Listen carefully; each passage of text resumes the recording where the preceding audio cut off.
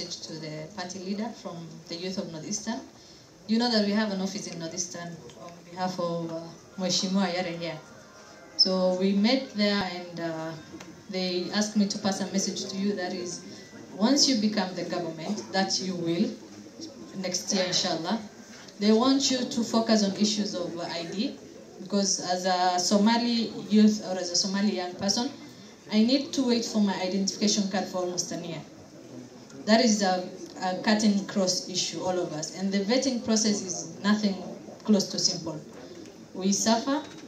To get my passport, I have to pay close to 100,000 Kenyan shillings.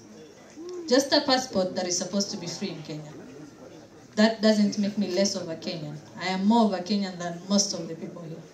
My grandparents were born in Kenya. So that is one message that I would like to pass. On behalf of the youth, we would like to tell you that we are educated, we are informed, we are concerned, and we like to be involved.